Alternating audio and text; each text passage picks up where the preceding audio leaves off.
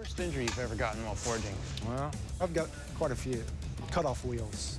Had one fly apart, stuck in my forehead through my bandana. So I took a pair of vice grips, grabbed the whole of it, yanked it out. And then I pulled my bandana off and I had a slit into my skull.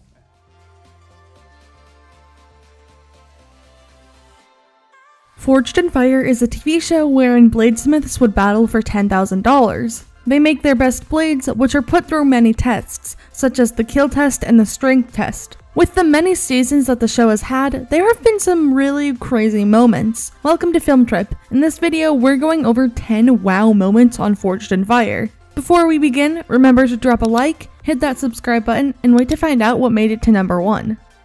Number 10 Ben versus a Carcass.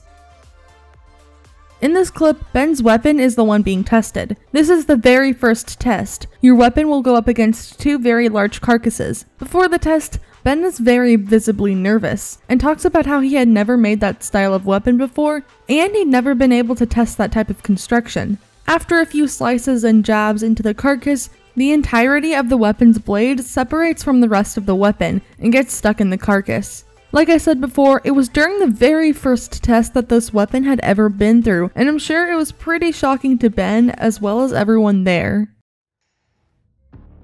Well, Ben, any warrior knows that if you leave a piece of shrapnel that big in a target, it's deadly.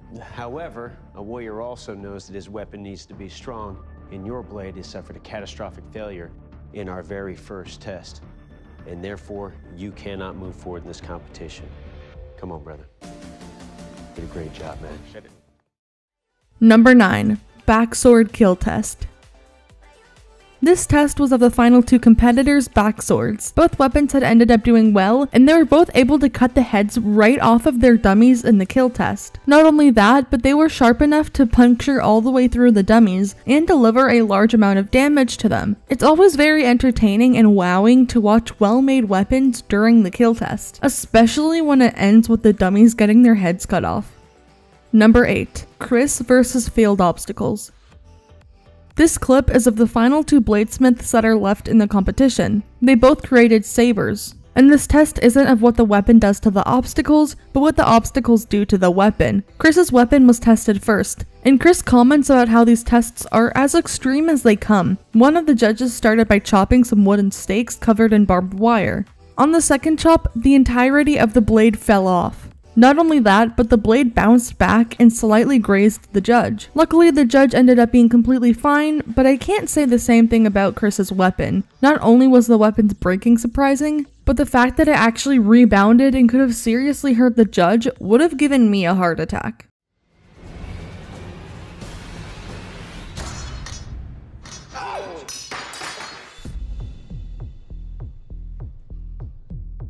Right here.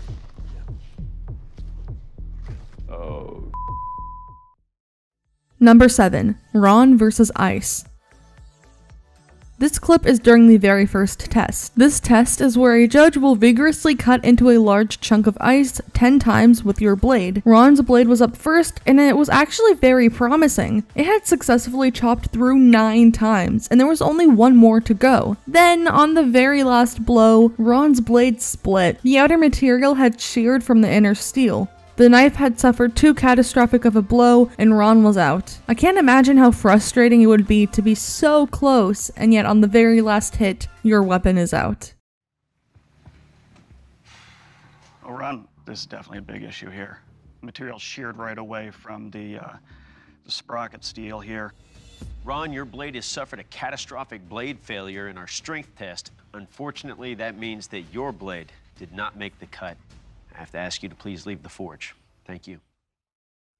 Number 6. Bob versus a ramrod. In this clip, a contestant named Bob had his weapons go to the strength test. To really see if the weapon was on par with what they were looking for, the weapon was to be chopped into the ramrod 10 times. Bob was up first and he immediately was very nervous, as if he somehow knew what was about to happen. Before his weapon was even tested, he showed great concern and explained how steel can be finicky. He talked about how sometimes steel will hold up great, and other times the steel will completely snap in your face. On the very first chop, his blade split right in half. Bob was, of course, disappointed, and he explained that he was still proud of himself for just being able to create a knife in such extraneous circumstances and in only three hours. Even though Bob had a great attitude about it, it was still pretty shocking to see a blade fail on the very first part of the very first test.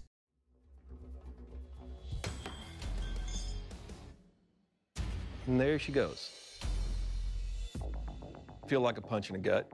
Well, Bob, quite obviously, your blade broke. Bob, your blade suffered a critical failure in the very first strike of the very first test. Oops. For that reason, I have to ask you to please leave the forge. Number 5. Frankish Throwing Axes Kill Test.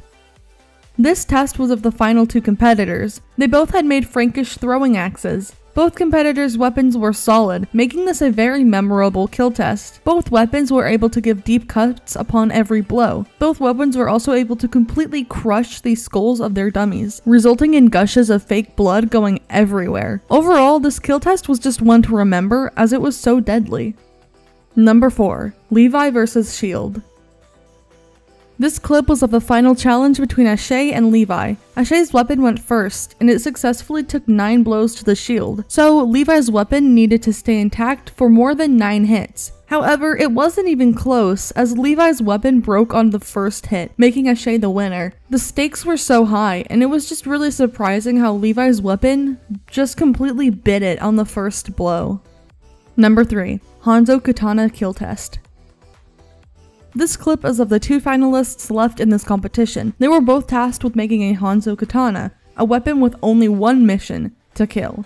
In the clip, they show both contestants' weapons against their respective dummies. Overall, both weapons held up well, and both were dubbed as able to kill.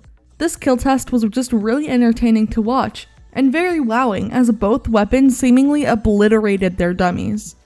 Number 2. Season 3, Episode 10's Worst Injuries. This clip features stories from a ton of people who were on Season 3. They all talk about some of the worst injuries they've ever had while bladesmithing. Some of them sound unbearably painful. From burning metals getting on you, to blades getting stuck in your skin, to even accidentally getting sparks in your mouth. These injuries are intense. A lot of them I had never even thought about as a possibility of happening. Let's just say, hearing these stories is pretty wowing. Number 1 Spiked Mace versus Kill Test. This takes our number 1 spot for a very good reason. For this round, Sam and Jason, the contestants, were instructed to make a spiked mace. Once it got down to the kill test, Sam's weapon did well, and no spikes fell off. However, the handle was a little too large and could have resulted in harm to the wielder. When Jason's weapon was tested, five spikes broke off, but it still did well. When it came down to the strength test, Jason's weapon lost even more spikes, but it still was able to hold up. However, Sam's weapon's handle was so large, the judges decided it would just be too dangerous to even test it, as it could end up breaking someone's wrist. Because of that, Jason won and Sam's weapon lost by default. This was surprising because in every other way, Sam's weapon seemed to be a lot better. And it seemed like most watchers agreed, as people were publicly annoyed that Jason won, even though many of his spikes fell off. That was our list of 10 wow moments on Forged in Fire. What did you think of the list? Which did you think was the craziest? Let us know in the comments. And as always, thank you for watching Film Trip.